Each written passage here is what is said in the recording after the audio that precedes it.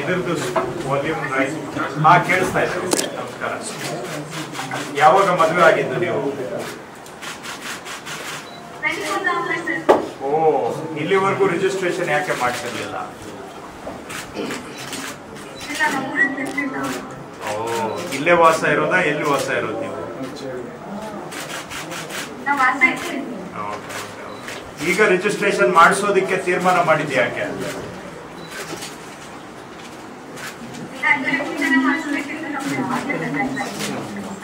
ಈಗ ಇವತ್ತಿಂದ ಆನ್ಲೈನ್ ಅಲ್ಲಿ ರಿಜಿಸ್ಟ್ರೇಷನ್ ಮಾಡುವಂತ ಅವಕಾಶ ಮಾಡಿಕೊಟ್ಟಿದ್ದೀವಿ. ಅನುಕೂಲ ಆಗುತ್ತಾ ಹೇಗೆ? ನೀವು ಸಬ್ ರಿಜಿಸ್ಟ್ರಾರ್ ಆಫೀಸ್ಗೆ ಫಿಸಿಕಲ್ ಆಗಿ ಬರೋ ಅವಶ್ಯಕತೆ ಇಲ್ಲ. ಮನೆಯಲ್ಲೇ ಕೂತ್ಕೊಂಡು ಈಸಿ ಆಗತ್ತೆ. ಸೊ ಇನ್ಮೇಲೆ ಈಗ ನವೆಂಬರ್ ಇಂದ ನಿಮ್ಗೆ ಮಾಡಿಸ್ಕೊಳ್ಳೋದಿಕ್ಕೆ ಇಲ್ಲಿಗೆ ಬರಬೇಕು ಅನ್ನೋದು ಅಡ್ಡ ಇತ್ತು. ಈಗ ನೀವು ಮನೆಯಲ್ಲೇ ಕೂತ್ಕೊಂಡು ಮಾಡಿಸ್ಕೊಳ್ಳೋ ಅವಕಾಶ ಇರೋದ್ರಿಂದ. Is that also a reason ಇವತ್ತು ರಿಜಿಸ್ಟ್ರೇಷನ್ ಮಾಡಿಸ್ಕೊಳ್ಳೋದಕ್ಕೆ ಆಸಕ್ತಿ ಬರೋ ಬಂದಿದ್ದಕ್ಕೆ ಕಾರಣ?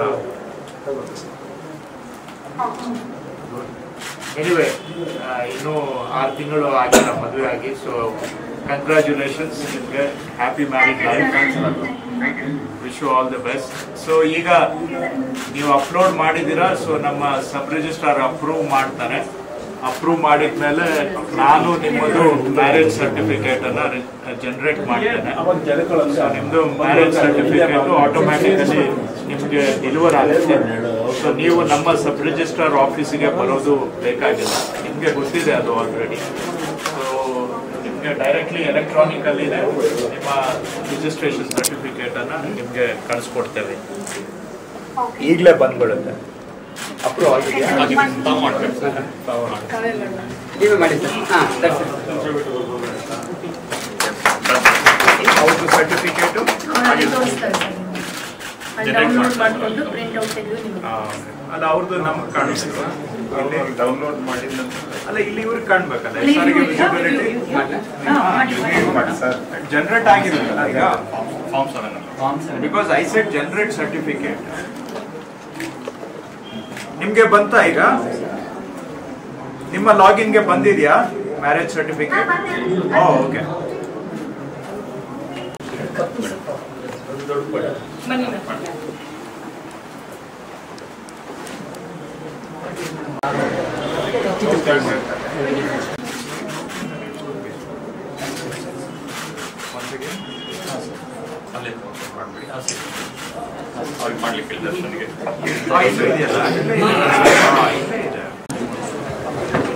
ಇವತ್ತಿನ ಈ ಹಿಂದೂ ವಿವಾಹ ಆನ್ಲೈನ್ ಹಾಗೂ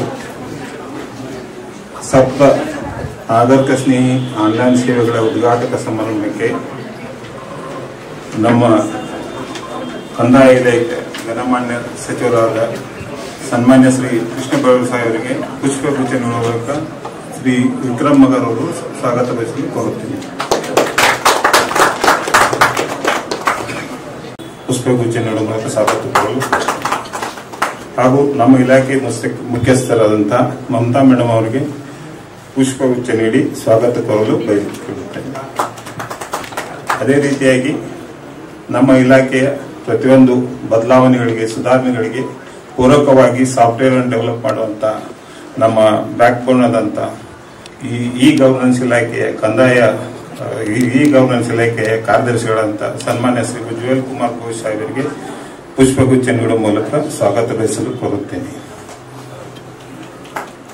ಅದೇ ರೀತಿಯಾಗಿ Yashwant Gulkar sir executive director centre for smart governance ಅವರಿಗೂ ಸಹ ಈ ಒಂದು ಸಮಾರಂಭಕ್ಕೆ ಸ್ವಾಗತ ಬಯಸುತ್ತೇನೆ ಸನ್ಮಾನ್ಯ ಸಚಿವರು ಇಪ್ಪತ್ತೇಳು ಐದರಿಂದ ನಮ್ಮ ಇಲಾಖೆಯ ನೇತೃತ್ವವನ್ನು ವಹಿಸಿಕೊಂಡು immediately within a weeks time he gave he inaugurated Kaveri 2 online all over the, this Bangalore district.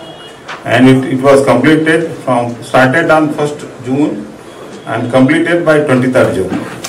ಅತ್ಯಂತ ವೇಗವಾಗಿ ಯಶಸ್ವಿಯಾಗಿ ಆನ್ಲೈನ್ ತಂತ್ರಾಂಶವನ್ನು ಮಾನ್ಯ ಸಚಿವರ ನೇತೃತ್ವದಲ್ಲಿ ಅಳವಡಿಸಲಾಯಿತು. ತದನಂತರ ಸಾರ್ವಜನಿಕರಿಗೆ ಅತ್ಯಂತ ಒಂದು ತೊಂದರೆಯನ್ನು ನೀಡತಕ್ಕಂಥ ಸಮಸ್ಯೆಯಾಗಿರುವ ಈ ಸುಳ್ಳು ದಾಖಲೆಗಳನ್ನು ಉಪನೋಂದಣಿ ಕಚೇರಿಗಳಿಗೆ ಆ, ಹಾಜರುಪಡಿಸಿ ಸಾಕಷ್ಟು ಕಾನೂನಾತ್ಮಕ ಸಮಸ್ಯೆಯನ್ನು ಗಮನಿಸಿ ಪ್ರಥಮ ಅಧಿವೇಶನದಲ್ಲಿ ಪ್ರಥಮ ಅಧಿವೇಶನದಲ್ಲಿ ಕರ್ನಾಟಕ ನೋಂದಣಿ ನಿಯಮ ಸೆಕ್ಷನ್ ಇಪ್ಪತ್ತೆರಡು ಬಿ ಮತ್ತು ಸಿಗೆ ತಿದ್ದುಪಡಿ ತಂದು ಅದನ್ನ ರದ್ದು ಮಾಡುವಂತ ಅಧಿಕಾರವನ್ನು ಜಿಲ್ಲಾ ನೋಂದಣಿ ಅಧಿಕಾರಿಗಳಿಗೆ ನೀಡಿರುವುದು ಅತ್ಯಂತ ಶ್ಲಾ- ಶ್ಲಾಘನೀಯ ಹಾಗೂ ಗೌರವಪೂರ್ವಕವಾದಂತಹ ಕ್ರಮ ಅಂತ ನಾನು ಬಯಸ್ತೀನಿ ಇದು ಸಾರ್ವಜನಿಕರ ಪ್ರಶಂಸೆಗೂ ಪಾತ್ರವಾಯಿತು. ಯಾಕಂದ್ರೆ ಈಗಾಗಲೇ ಅದು ಇನ್ನು it has to be consent has to be given by president of India ಈಗಲೇ ಜನ ನಮ್ಮ ಆಫೀಸಿಗೆ ಬರ್ತಾ ಇದ್ದಾರೆ. ಇದನ್ನ ಅದು ಫ್ರಾಡ್ಯುಲೆಂಟ್ ಡಾಕ್ಯುಮೆಂಟ್ ಆಗಿದೆ ಇನ್ ಪರ್ಸನೇಷನ್ ಆಗಿದೆ. ರದ್ದು ಮಾಡಿ ಅಂತ ಬರ್ತಾ ಇದ್ದಾರೆ. ಜೊತೆ ಜೊತೆಗೆ ಇನ್ ಮುಂದಾಗುವಂತ ಕೆಲವೊಂದು ತಡೆ ಆಗಿದೆ ಅಂತ ನನ್ನ ಭಾವನೆ ಇದೆ. ಅದರ ಜೊತೆಗೆ ಇಮಿಡಿಯೇಟ್ಲಿ ಸುಮಾರು ಎರಡು ಸಾವಿರದ ಹತ್ತೊಂಬತ್ತರಿಂದ ನಮ್ಮಲ್ಲಿ ಸ್ಥಿರಾಸ್ತಿಗಳ ಮಾರುಕಟ್ಟೆ ಮೌಲ್ಯಗಳನ್ನು ಪುನರ್ ಪರಿಶೀಲನೆ ಆಗಿರಲಿಲ್ಲ. ಸಚಿವರ ಒಂದು ಮಾರ್ಗದರ್ಶನದಲ್ಲಿ ಹಾಗೂ under the good governance of our honourable secretary and Mamata madam we have completed the revision of market value within three months ಮೊದಲು ಒಂದೊಂದು ವರ್ಷ ನಾವು ತಗೊಳ್ಳೋದಂಥ ಸನ್ನಿವೇಶ ಇತ್ತು. ಅದನ್ನು ಕೇವಲ ಮೂರು ತಿಂಗಳಲ್ಲಿ using the present software technology we have started on October first ಅದನ್ನ ಜಾರಿಗೊಳಿಸಿದ್ವಿ. ಪ್ರತಿ ಮಂತ್ ಒಂದೊಂದು ಸುಧಾರಣೆ ಬರ್ತಾ ಇದೆ. ನೆಕ್ಸ್ಟ್ ಚಳಿಗಾಲ ಅಧಿವೇಶನದಲ್ಲಿ ಕೆಲವೊಂದು ಅವಶ್ಯಕ ಮುದ್ರಾಂಕ ಶುಲ್ಕದ ತಿದ್ದುಪಡಿಗಳನ್ನ ಜಾರಿಗೆ ತಂದು ಸಾರ್ವಜನಿಕಕ್ಕೆ ಅನುಕೂಲ ಆಗುವಂತೆ ಚಳಿಗಾಲ ಅಧಿವೇಶನ ಬೆಳಗಾವಿಯಲ್ಲಿ ಮಂಡಿಸಿ ಅದನ್ನು ಆದೇಶಗೊಳಿಸಿದರು this is in the month of December next in the month of January, again, sir ice but one more reform. That is free ಅಥೋ ಜನ್ ಅಂದ್ರೆ ಜನರಿಗೆ ಯಾವುದೇ ರೀತಿ ಅಂತ ಡಾಕ್ಯುಮೆಂಟ್ ಅನ್ನ ಸಪ್ರೇಟ್ ಹೋದಾಗ ಆ ಸಬ್ರೆಸ್ಟ್ ಓಪಿನ್ ಮೇಲೆ ಡಿಪೆಂಡ್ ಆಗುವ ಒಪಿನಿಯನ್ ಮೇಲೆ ಡಿಪೆಂಡ್ ಆಗುವ. ಅಗತ್ಯ ಇತ್ತು ಅಂತ ನಾವು ಕೇಳ್ಬೋದು. ಇದರಿಂದ ಸರ್ಕಾರಕ್ಕೆ ಯಾವುದೇ ರಾಜಸ್ವ ಏರಿಕೆ ಆಗುವ ಸಂಭವ ಇಲ್ಲ. Only here intention of the government is to increase the number of registration ಇದು ಕಳೆದ ಎರಡು ವರ್ಷದ ಅಂಕಿಅಂಶಗಳನ್ನು ನೋಡಿದ್ರೆ, ಸುಮಾರು ನಾವು ಲಾಸ್ಟ್ ಇಪ್ಪತ್ತೆರಡು ಇಪ್ಪತ್ತ್ ಮೂರಲ್ಲಿ ಎರಡು ಲಕ್ಷ ನಾಲ್ಕು ಸಾವಿರ ಹಿಂದೂ ರಿಜಿಸ್ಟ್ರೇಷನ್ ಮಾತ್ರ ಆಗಿದೆ ಸರ್. ಸೊ ಹಂಗಂತೇಳಿ ಅಷ್ಟೇ ಮದುವೆ ಅಷ್ಟೇ ಆಗಿದೆ ಅಂತಲ್ಲ only thirty percentage of the marry married couple are registering the marriage registration Hindu marriage act ಅಂದ್ರೆ ಮೂವತ್ತು ಪರ್ಸೆಂಟ್ ಇವತ್ತೊಂದು ನೂರು ಮ್ಯಾರೇಜ್ ಆದರೆ ಮೂವತ್ತು ಜನ ಮಾತ್ರ ದೇ ಆರ್ ರಿಜಿಸ್ಟ್ರೇಷನ್ ಮಾಡ್ತಾ ಇದ್ದಾರೆ. ಈ ವರ್ಷದಲ್ಲಿ ಕಂಪೇರ್ ಮಾಡಿದರೆ ಸರ್ ಇಲ್ಲಿವರೆಗೆ ನವೆಂಬರ್ವರೆಗೆ ಒನ್ ಲ್ಯಾಕ್ ಫಾರ್ಟಿ ತೌಸಂಡ್ ಮಾತ್ರ ಆಗಿದೆ sir and to give district wise figures the Bengaluru sir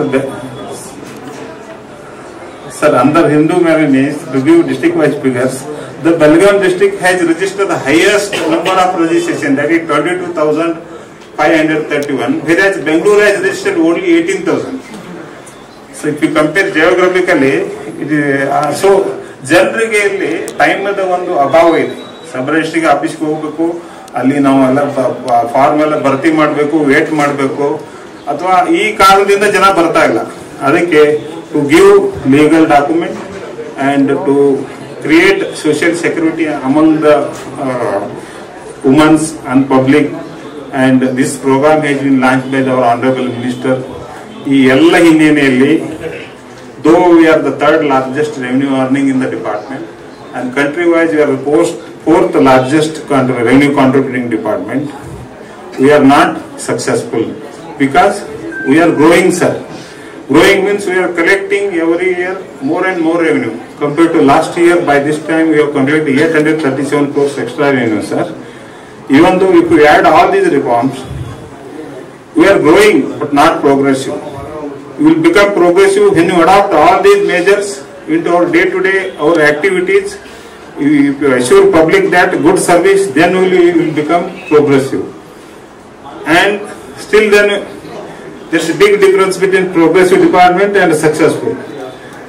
Again, the growth we are growing and progress is happening under the leadership of the our honorable minister and we will become successful. ಸಫಲರಾಗಬೇಕಾದ್ರೆ we should add humanity element to it. That means the human element is more important to maintain the public relation. ಅದಕ್ಕೆ ನಮ್ಮ we ಎಲ್ಲ ನೌಕರರು, officers ಈ on going develop ಬದಲಾವಣೆಗೆ ಅತ್ಯಂತ ಕ್ರಿಯಾಶೀಲವಾಗಿ ಸ್ಪಂದಿಸುತ್ತಿದ್ದು ಮುಂದಿನ ದಿನಗಳಲ್ಲಿ ಸ್ಪಂದಿಸಿ ಇನ್ನೆಲ್ಲ ಕಾರ್ಯಸಾಧು ಮಾಡಿದರೆ ಇದನ್ನ ನಾವು ಈ ಸಾಹೇಬರು ಹಂಚ್ಕೊಂಡಿದ್ದನ್ನು ಸಾಧಿಸಲಿಕ್ಕೆ ಯಾವುದೇ ತೊಂದರೆ ಇಲ್ಲ ಅಂತ ಹೇಳುತ್ತಾ? ವಂದಿಸುತ್ತಾ? ಕಾವೇರಿ ಟು ಈಗಾಗಲೇ ನಮ್ಮ ಡಿ ಆರ್ ಅವರು ಹೇಳಿದಂತೆ ಇದೊಂದು ಜನಸ್ನೇಹಿ ನೋಂದಣಿ ವ್ಯವಸ್ಥೆ. ಇದನ್ನ ಜೂನ್ ತಿಂಗಳಲ್ಲಿ ನಾವು ಇಲ್ಲಿ ಚಾಲನೆ ಕೊಟ್ಟಿದ್ದೇವೆ. ಇದು ಕೊಟ್ಟ ನಂತರ ಕಾವೇರಿ ಟು ಒನ್ ಮುಂಚೆ ಕಾವೇರಿ ಒನ್ ಇದ್ದಾಗ ಒನ್ ಅನ್ ಆವರೇಜ್ ಒಂದು ಫಾರ್ಟಿ ನೈನ್ ಡಾಕ್ಯುಮೆಂಟ್ಸ್ ರಿಜಿಸ್ಟರ್ ಆಗ್ತಾ ಇತ್ತು. ಮತ್ತು ರೆವೆನ್ಯೂ ಒಂದು ಸಿಕ್ಸ್ಟಿ ಸಿಕ್ಸ್ಟಿ ಸಿಕ್ಸ್ಟಿ ತೌಸಂಡ್ ಆಸುಪಾಸಲ್ಲಿತ್ತು ಈಗ ಕಾವೇರಿ ಟೂ ತಂತ್ರಾಂಶದಲ್ಲಿ ಎಪ್ಪತ್ತು ಎಪ್ಪತ್ತು ಕೋಟಿಗಿನ ಮೀರಿದೆ ನಮ್ಮ ರಾಜಸ್ವ ಹಾಗೂ ಒಂದು ಹದಿನಾಲ್ಕು ಸಾವಿರ ದಾಖಲೆಗಳನ್ನು ರಿಜಿಸ್ಟರ್ ಮಾಡಲಿಕ್ಕೆ ಒಂದು ಶಕ್ತವಾಗಿದೆ.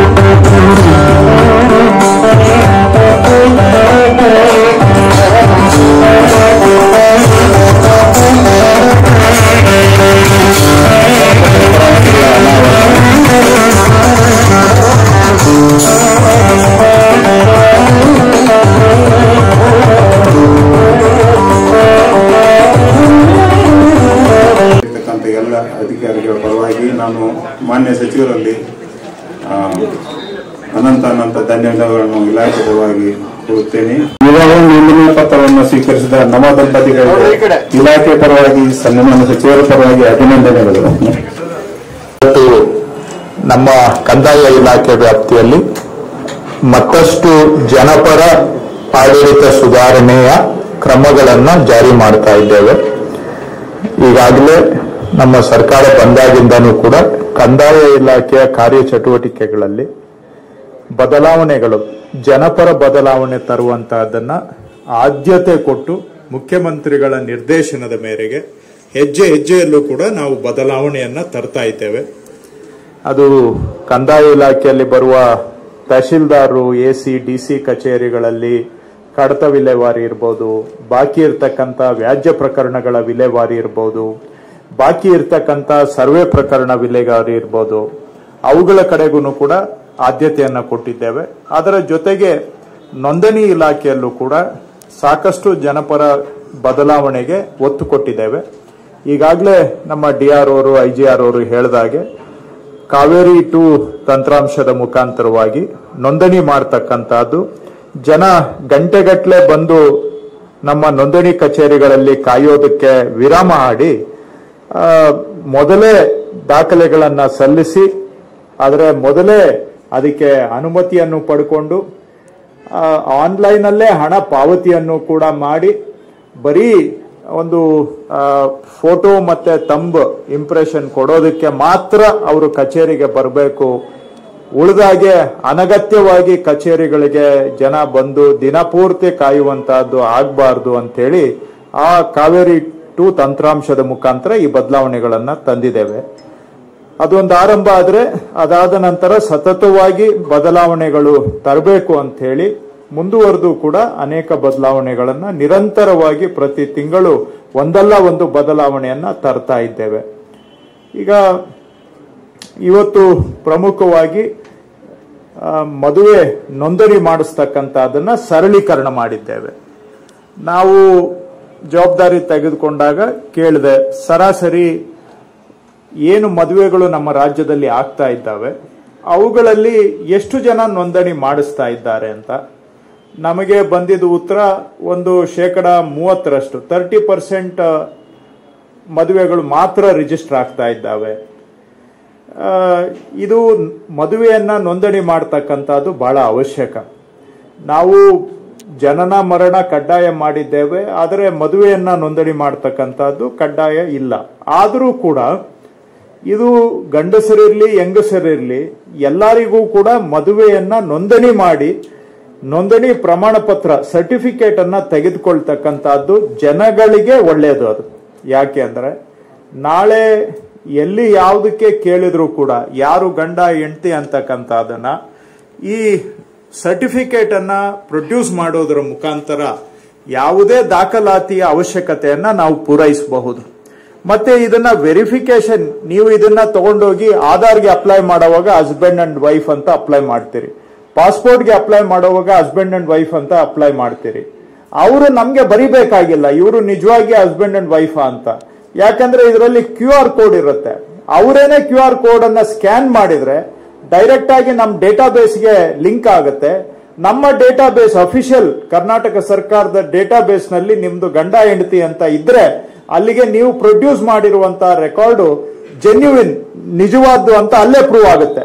ಇದಕ್ಕೆ ಮತ್ತೆ ನೀವು ನಮ್ಮ ಹತ್ರ ಬಂದು ಸರ್ಟಿಫೈಡ್ ಕಾಪಿ ತಗೊಂಡೋಗಿ ಆಧಾರ್ಗೆ ಕೊಡಬೇಕಾಗಿಲ್ಲ ಪಾಸ್ಪೋರ್ಟ್ಗೆ ಕೊಡಬೇಕಾಗಿಲ್ಲ. ಆಟೋಮ್ಯಾಟಿಕಲಿ ನಿಮ್ಗೆ ನಾವು ಈಗ ಕ್ಯೂ ಆರ್ ಕೋಡ್ ಅನ್ನು ಕೂಡ ಇದರಲ್ಲಿ ಹಾಕಿರೋದ್ರಿಂದ ಸಿಂಪಲ್ ಆಗಿ ಒಂದ್ ಸೆಕೆಂಡ್ ಅಲ್ಲಿ ಅವರು ನಿಮ್ಮ ಮ್ಯಾರೇಜ್ ಸರ್ಟಿಫಿಕೇಟ್ ಅನ್ನ ಯಾರು ಬೇಕಾದ್ರೂ ಅಧಿಕಾರಿಗಳು ಬೇರೆಯವರು ವೆರಿಫೈ ಮಾಡಬಹುದು ಇನ್ಕಮ್ ಸರ್ಟಿಫಿಕೇಟ್ಗೆ ಅಪ್ಲೈ ಮಾಡ್ತೀರಿ. ನಿಮ್ ಗಂಡ, ಹೆಂಡತಿ ಯಾರು ಅಂತ ಕೇಳ್ತಾರೆ. ಅವ್ರಿಗೂ ಕೂಡ ಸರ್ಟಿಫಿಕೇಟ್ ಕೊಟ್ರೆ ಅಲ್ಲಿಗೆ ಅದೆಲ್ಲ ಪ್ರಶ್ನೆಗಳು ನಿಂತು ಹೋಗ್ಬೇಕು. ತಾನೇ ತಾನಾಗಿ ಉತ್ತರ ಸಿಗಬೇಕು.